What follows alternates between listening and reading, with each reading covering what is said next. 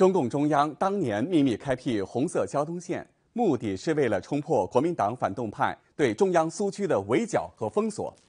因此，反侦查、反破坏也是交通线上生死攸关的课题。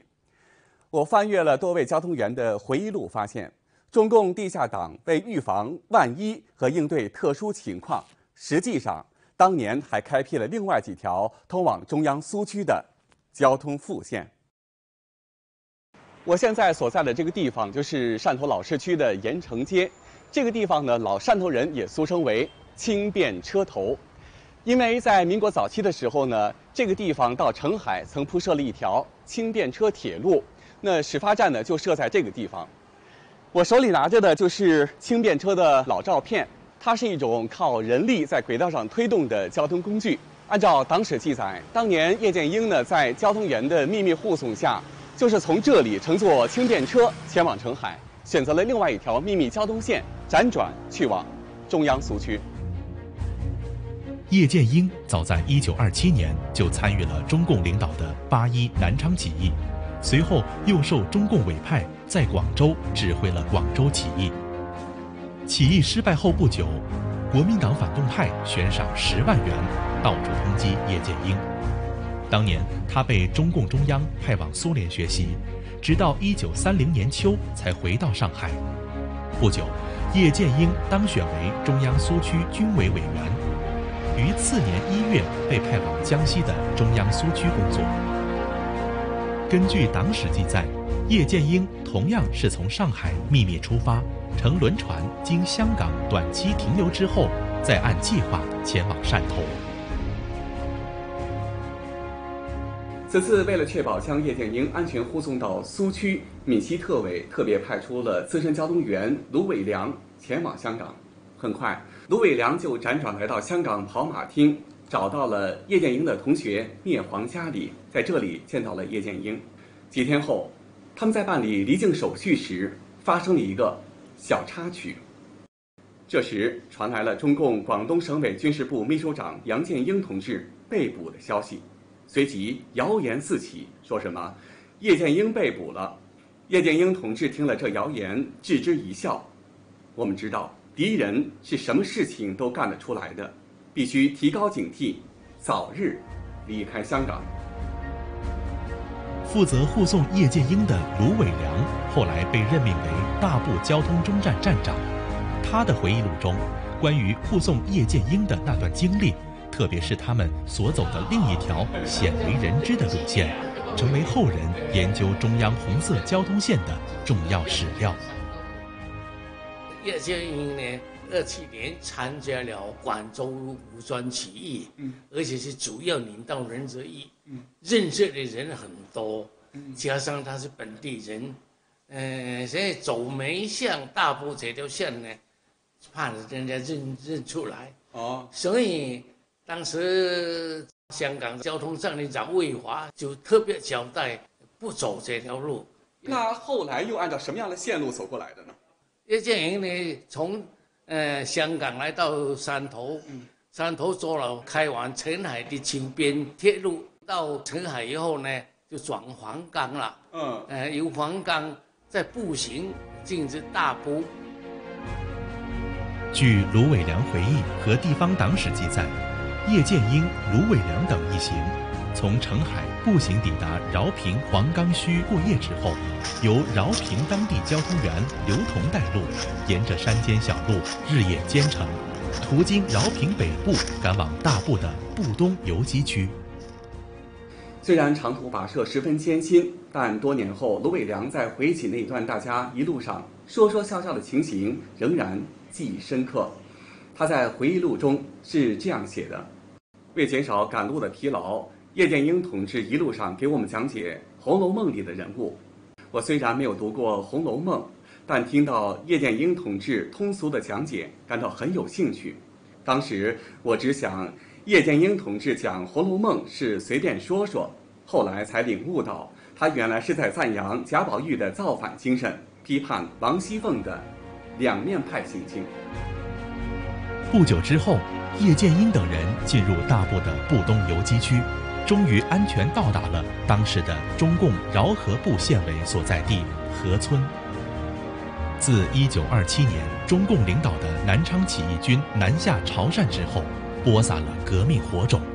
饶平、大埠、平和等地相继爆发工农武装暴动，并在各地建立了党支部。就在叶剑英到达之前不久，在中共闽西特委领导下，中共饶平县委、平和县委、大埠县委、闽粤边工委整合成饶河部县委。统一领导三县的革命工作，而县委机关初期就设在临近广东、福建交界的河村。根据卢伟良的回忆，叶剑英在此地短暂休息了三天，还应邀为当地的党员干部讲解了国内外的革命斗争形势。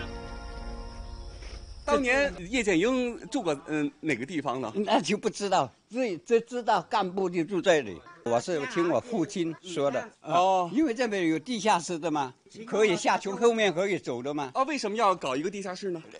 不，不是本来就有地下室的，以前就是关牛啊、关猪的，全全部是地下室的嘛？你看，哦，从这儿下来是吧？这里就走了吧？哦。你看家家都是这样的，这里也是啊，哦，也也是啊，放一个梯梯子那边，人就走到下面来。啊，迅速撤离到下边来，撤离到下面来，然后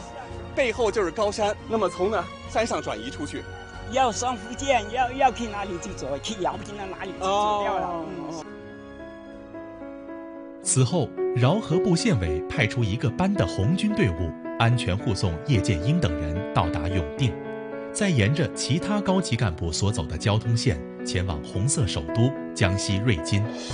而实际上，为了确保地下交通的安全，当年中共地下党不仅开辟了多条通往中央苏区的交通线，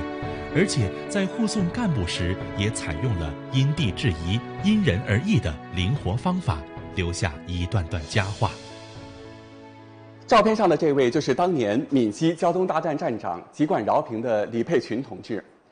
而这位则是华南交通总站站长籍贯大部的饶卫华同志。两位分别是在大革命时期的1926年就加入了共产党，而且多年从事地下工作。因此，解放后他们在回忆录中就谈到了很多关于红色交通线的往事。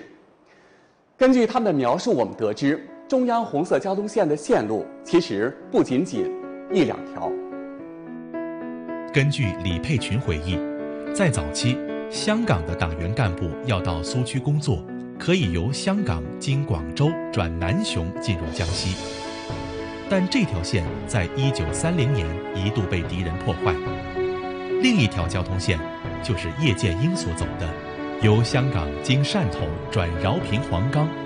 再转饶河部苏区而到闽西，还有一条是由汕头、潮安到松口、梅县、蕉岭、平远入江西苏区。不过这两条线路曾遭敌人破坏，后来也中断了。而根据饶卫华回忆，从香港出发到苏区的交通线起码有四条，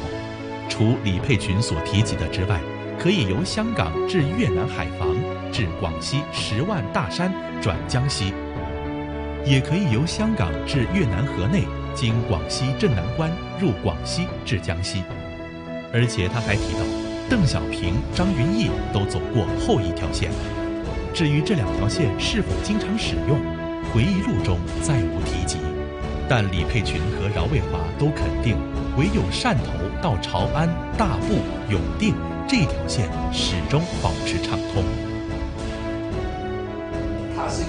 是有选择的，什么人走什么路线比较安全，但大部分是走这条水路专用的到永定这些交通线，所以有人评价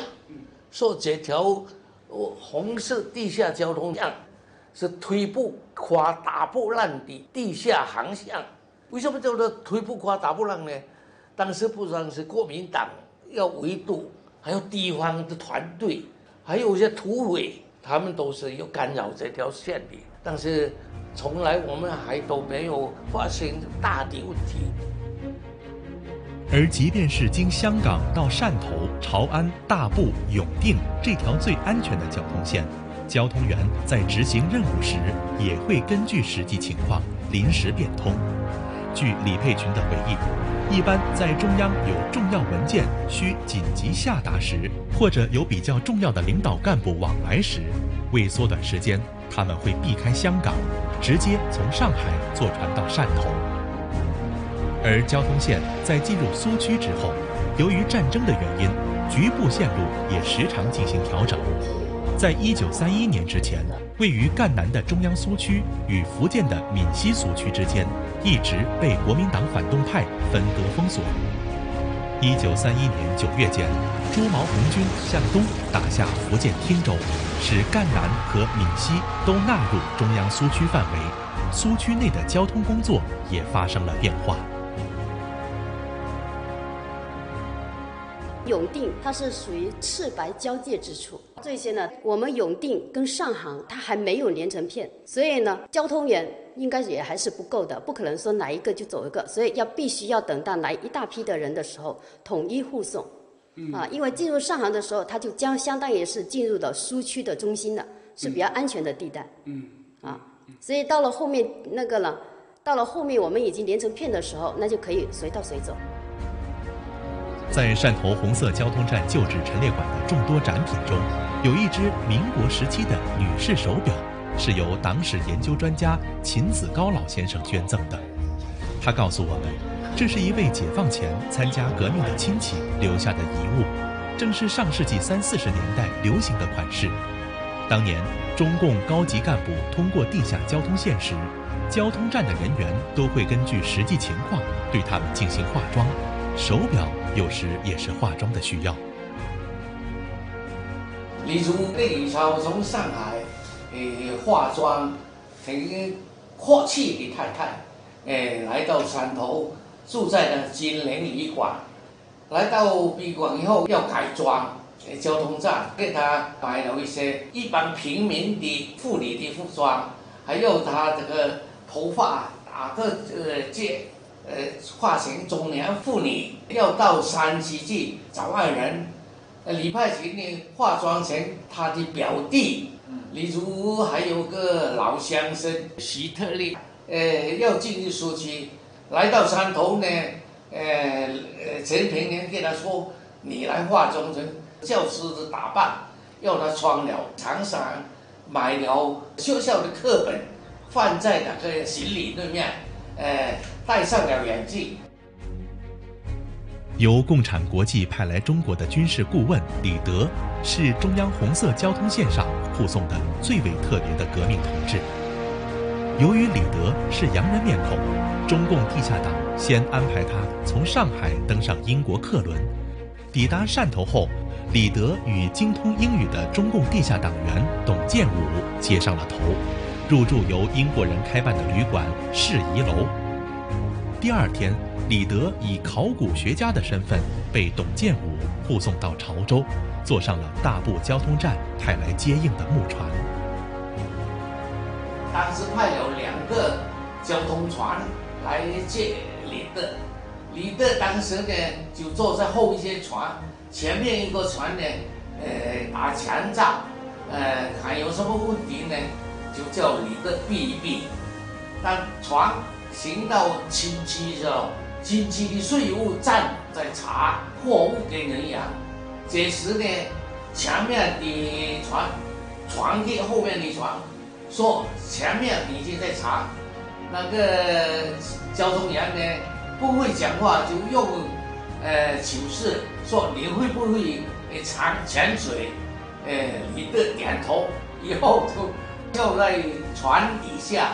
慢慢随着船。撑过去，过了这个税站，他又上了船。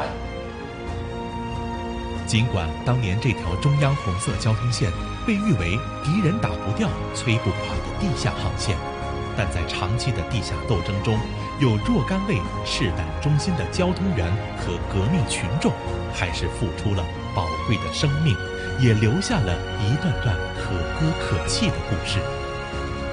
请继续收看第六集《不屈精神》。